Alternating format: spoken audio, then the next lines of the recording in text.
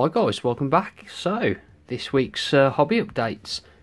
I've uh, not managed to get any more done on the keeper, but hopefully with the long weekend, I'm going to get some more work done on that um, Sunday morning and Monday, hopefully. I'm also going to see if I can get these guys finished off.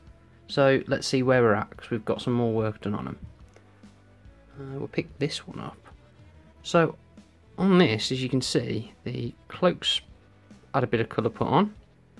Could have been done better, like that, but that was put on with a test of the Shyish contrast purple.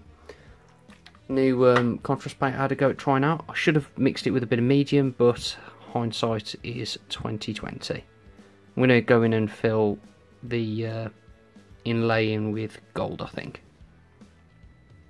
Uh, what else has been done? What else has been done as well is I've gone and done the eyes. Now these are a lot bigger than ones I've done before and I wanted that milky cataract kind of look. So the way I achieved that is I painted it with glacier blue, just game colour. And then I went over it with a mixture of flow improver and the Payne's Grey.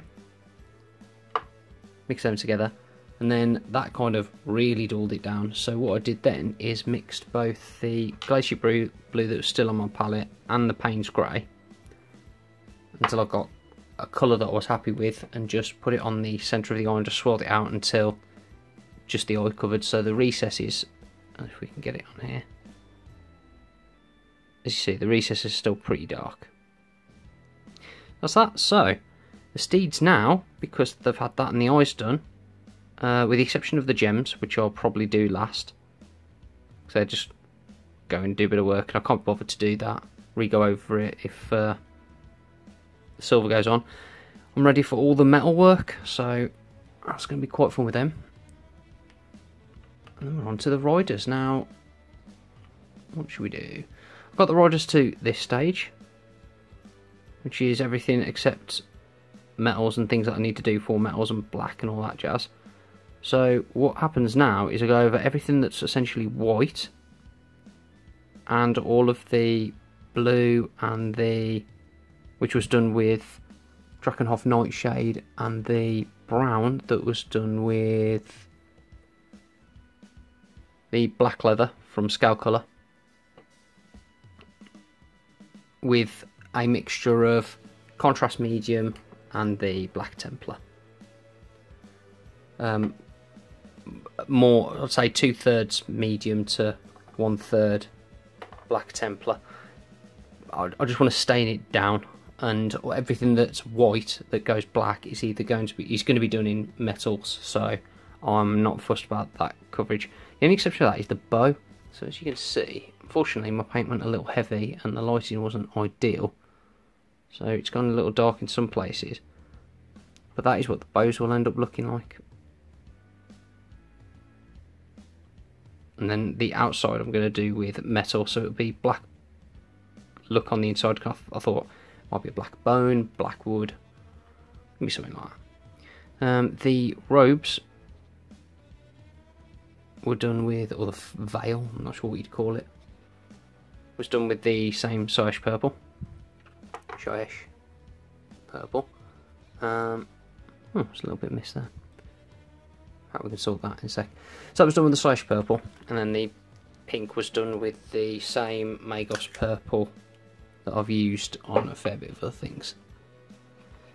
So hopefully, once all the metals are done, which is going to be another little project for this weekend, I'm going to be able to, I'll be able to say all of these are done.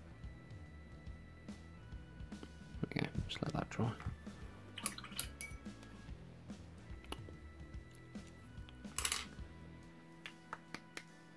To it. Yeah, I've even gone in, uh, see if we can pick a decent model for it. I've gone in and attempted to just put some black on the eyes. Now I'm actually fairly happy because I'm quite a proponent of at that scale from the other of it, you're not you can't see the white of the eye, especially on say these ones where black is tiny. You gonna stay? No. Doesn't even like zooming in on. So one option I've got is get some titanium white ink, really thin it down with a flow improver and just dab it onto the eye and hopefully it'll it will pull into the each corner of the eye and it will make it appear as if the eyeball's white. Not sure how that's going to go, but we'll see. What I have done as well is I've prepped couple of the steeds have little scarification things. Not sure what you call them, like here. So I'm going to go in with some blood for the blood god to make it glistening red. I think that should look quite nice. But yeah, we're getting really close to these being done. So this was a monthly challenge for us, slow grow that me and my friends are doing. And I was going to do a unit of 10 Blissbarb Seekers.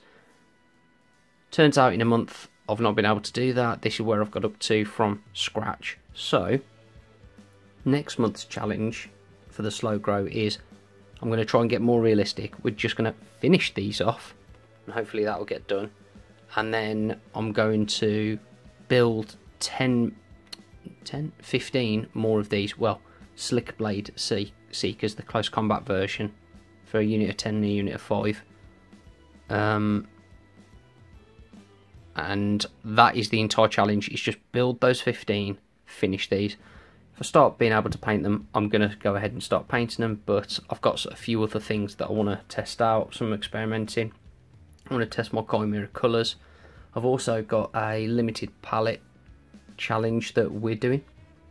So we can pick uh, three primary colours. So either we're going to go with standard primary colours or we're going to go with the cyan magenta primary colour wheel. Uh, black, white, and that is all you're allowed to use. It can be inks, can be contrast paints, can be whatever, but you're only allowed those three primary colours, and then from that you've got to mix all your different shades up if you want. And if you want to do metals, it's going to be non-metallic metal. So not allowed to use any true met uh, metallics. So I've got a few ideas what I want to do. I'm very tempted by doing uh, grayscale work and then applying glazes over the top. Um,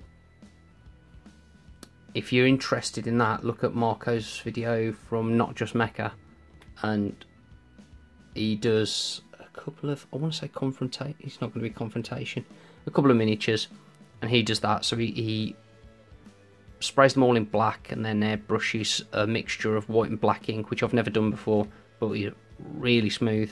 So I'm going to definitely have to have a go at that. Anyway, that's this week's video, guys. Thank you very much. Well guys, that's the end of the video. If you enjoyed it, please be sure to give it a thumbs up, like, comment and subscribe. Also be sure to check out our Facebook page at Wulfen Studios, the link's in the description. As always, thanks for stopping by, catch you next time.